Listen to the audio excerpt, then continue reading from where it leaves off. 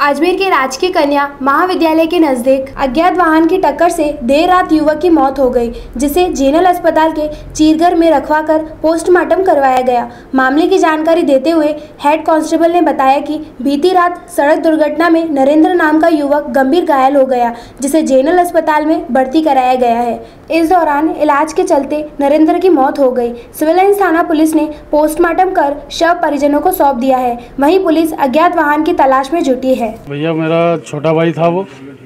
कल रात को हम लोग दुकान से, दुकान बढ़ा करके घर की तरफ़ जा रहे थे तो हैंडपम्प था, वहाँ हाथ धो करके वो पास में गली है हैंडपम्प के पास में। वो अंदर घुसने लगा था कि रोड के लेफ़्ट साइड से कोई रोंग साइड से गाड़ी आई, फुल स्पीड में थी। शायद ड्राइवर भी पिया हुआ ही था। और उसने इतनी ज़ोर से गाड़ी को मेरे भाई के टक्कर मारी।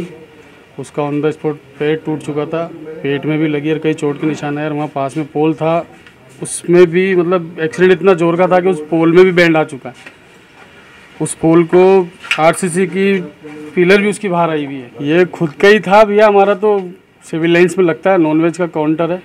पास में दुकान की कुछ ही दूरी पे ही मेरा घर है उस गली के अंदर। मतलब घर के बाहर ही थे? हम्म? कौन सी गाड़ी थी? ये स्विफ्ट डिज़ायर गाड़ी थी। गाड़ी गाड़ी नंबर आर जे चौदह सी एल छब्बीस अट्ठानवे। हाँ पुलिस आ गई थी और उसको भी पकड़ लिया था।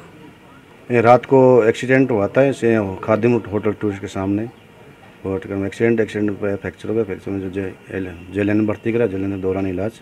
नरेंद्र नवीन की मृत्यु हो गई है, जिसकी जाँच जारी है।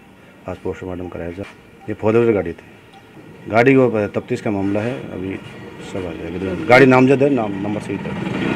सर इसकी मृत्यु इसका नाम क्या है? नवीन और नरेंद्र सिंह और नवीन।